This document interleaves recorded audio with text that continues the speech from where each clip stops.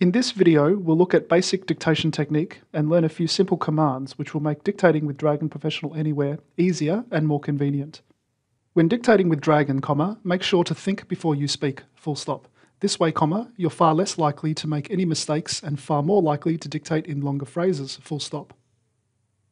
This gives Dragon more context, comma, which is extremely important for good accuracy, full stop, new paragraph.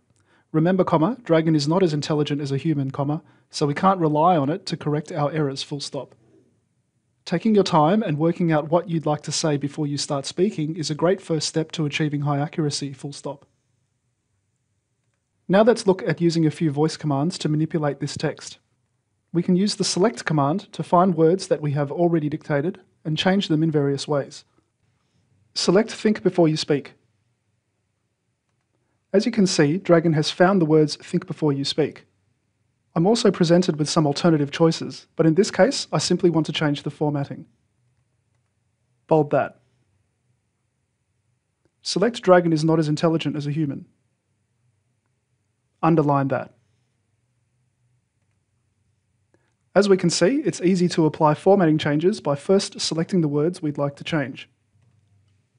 Alternatively, we can change the words entirely.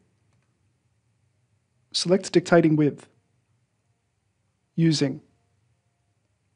Select Extremely Important. Critical. I can use the Insert command to place the cursor at a particular position in the document. Insert before high accuracy. Extremely. I can use the command go to end to move the cursor to the end of the document so I can continue dictating. Go to end.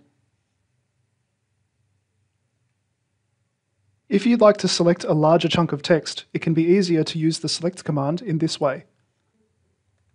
Select taking to speaking. All caps that. As you can see, this is much easier than redictating the entire sentence. Sometimes Dragon might misrecognize what you said, or spell a word differently to how you'd like.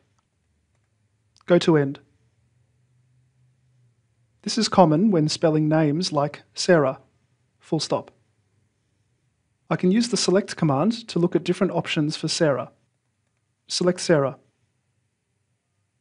Choose one. This is what we call a correction, and doing this helps Dragon to learn your voice and your preferences. You can find more helpful commands in the documentation attached to your Welcome Kit email, or by clicking the Dragon Flame icon, followed by what you can say.